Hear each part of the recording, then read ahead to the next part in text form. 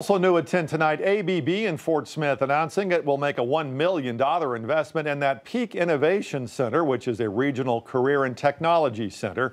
Fort Smith Public Schools Peak Innovation Center will be a regional career and tech center with a focus on innovative instructional strategies surrounding science, technology, engineering, art, and math.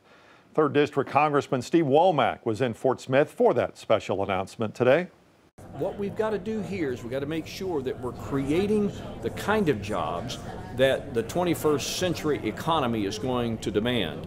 And they're going to be highly technical in nature. They're going to require skill sets that you don't just have by walking in with a pulse.